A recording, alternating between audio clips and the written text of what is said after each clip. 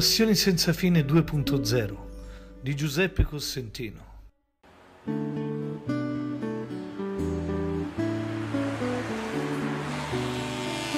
Ma guarda un po' chi si vede.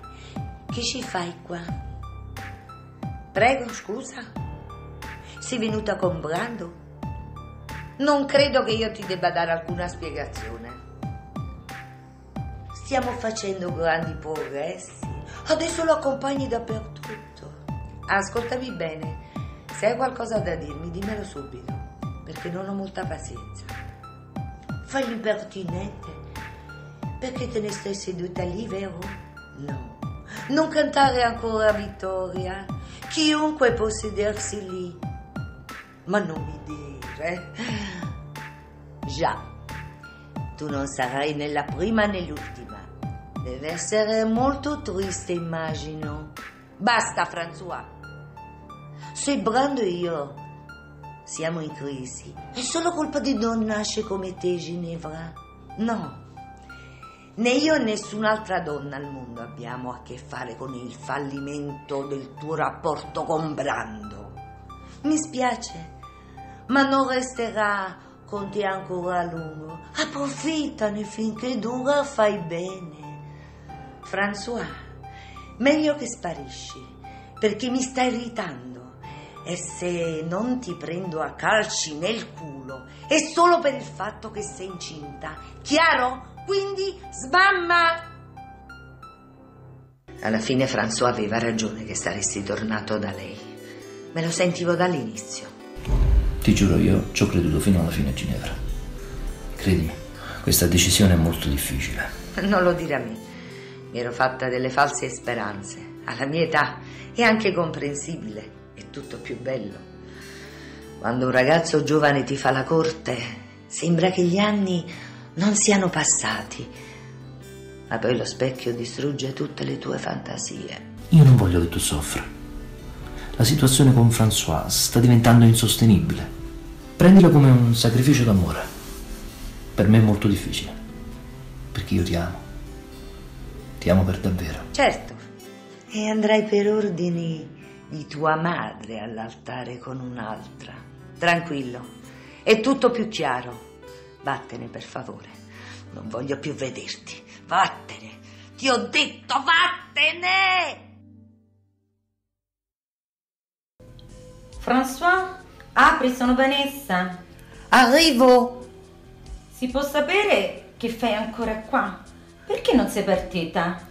Non me la sento. Ho paura. François, François, vediamo se riesco a spiegarmi. Il mio amico luminare ti aspetta a braccia aperte. Io mi sono presa il disturbo di prenotarti un letto nella migliore clinica che ci sia e tu rendi vano ogni mio sforzo. Ma si può sapere, paura di cosa? Non so, paura di tutto, del dolore, di quello che può capitarmi. Guarda che non ti succederà niente. Cosa dici? Mi faranno l'anestesia? Forse eh, dovranno anche... François, non dovrai sottoporti a nessuna anestesia, cara. Ma mi avevi detto, se non andavo dal medico... Quello che avevo detto e ho appena cercato di dirti che rovinerai tutto. Come tua abitudine, peraltro. No, non capisco. Ripeto, non dovrai sottoporti a nessuna anestesia e nessuna analisi, perché il mio amico sa già quello che deve certificare. E allora per quale motivo dovrei, dovrei partire? Per rendere tutto credibile, per fare le cose come vanno fatte, in maniera tutta scientifica. Quindi mi sono tormentata per nulla. Tu dovevi fare un po' più scena con mio figlio Brando, facendo in modo che ci credesse. Dovevi prendere il primo volo e non piangerti addosso come una misera donnetta. Mi spiace. Ora basta, docciati, vestiti, che tra un'ora c'è un altro volo. Amore, ho comprato casa a Napoli, al Vomero, uno dei quartieri più chic della città. Per ora è un buco, però tempo di prossimi guadagni. Le mostre stanno andando anche bene, quindi bisogna avere solo fede. Figurati, è una notizia sensazionale. Che bello una casa a Napoli, tutta nostra, il nostro nido d'amore. È meraviglioso. Ho sempre voluto vivere lì. Ti porterò nella città dove sono nato e cresciuto.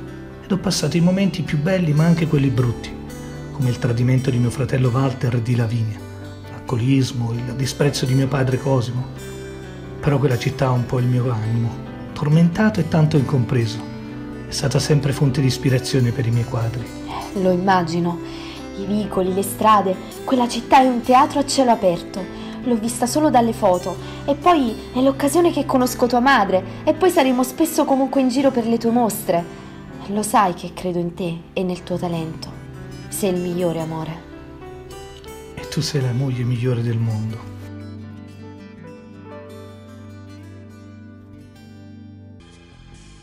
Devi dimenticarmi, Brando, non c'è altra soluzione, tu lo sai.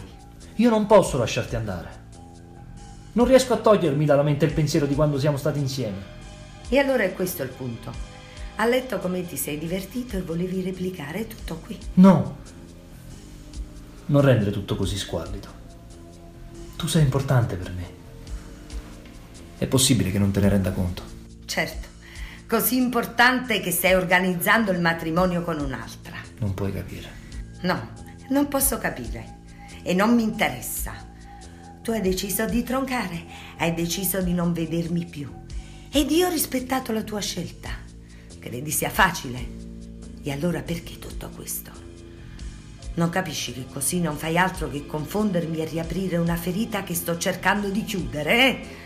Ho interrotto qualcosa? Brando c'è una telefonata dall'altra parte. Salve Ginevra. Salve signora Buonocore. Vabbè, io vado, arrivederci. No, aspetti un attimo Ginevra. Io vorrei parlarle. Ho visto che ultimamente frequenti spesso questa casa. Beh, sono una cara amica di Fabrizio e Brando.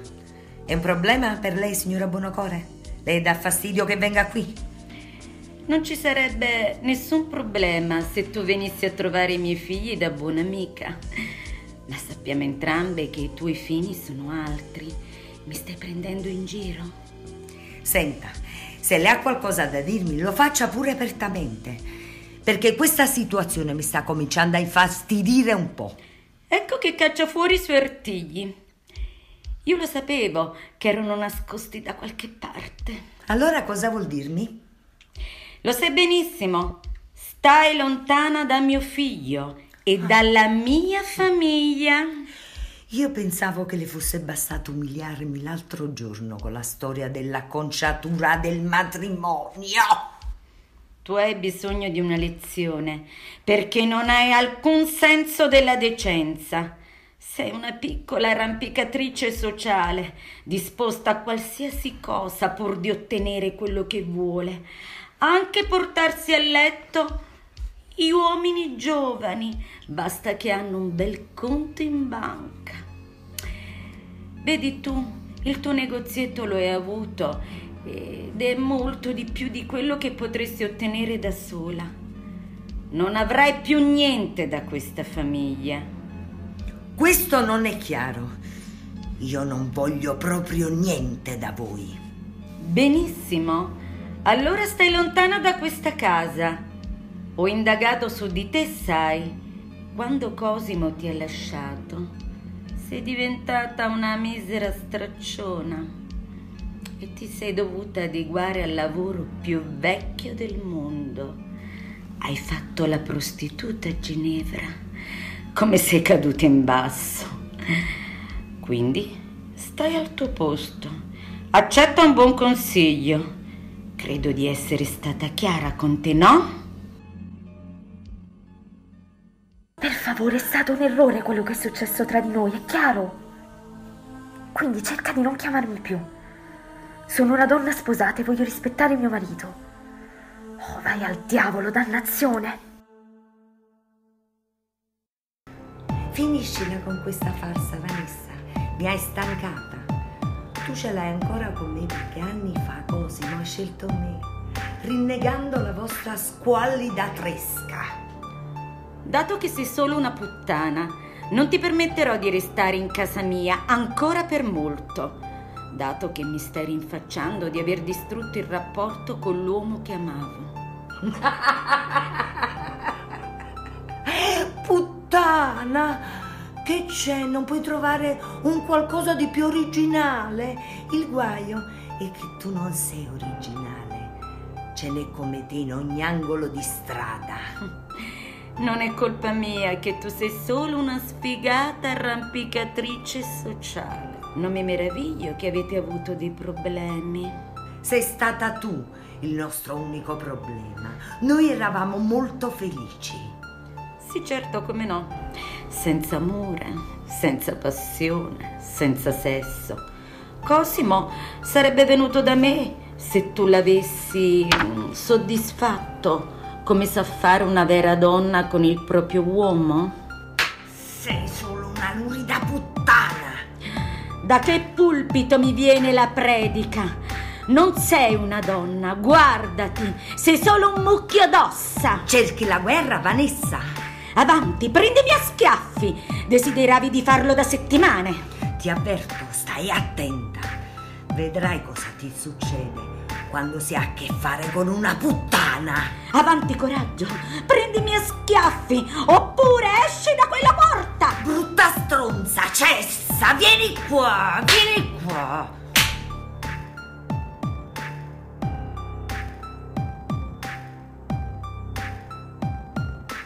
Basta chiamarmi, quante volte te lo devo dire? Lasciami in pace. Voglio essere fedele a mio marito adesso. Adesso sono una donna sposata, non ci può essere più niente, Abdul, fra di noi. Mi sento già male per quello che abbiamo fatto. È stato un momento di debolezza, punto. Chiusa lì. Chiara Abdul, dimenticami e cancella questo dannato numero. Che c'è, amore? Ti vedo nervosa? No, niente, Fabio, stai tranquillo.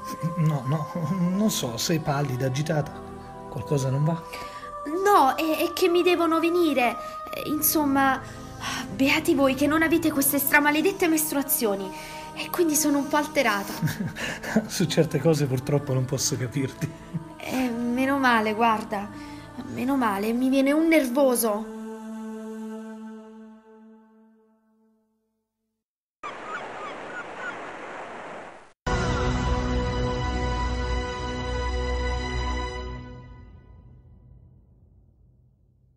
Avete ascoltato Passioni senza fine 2.0.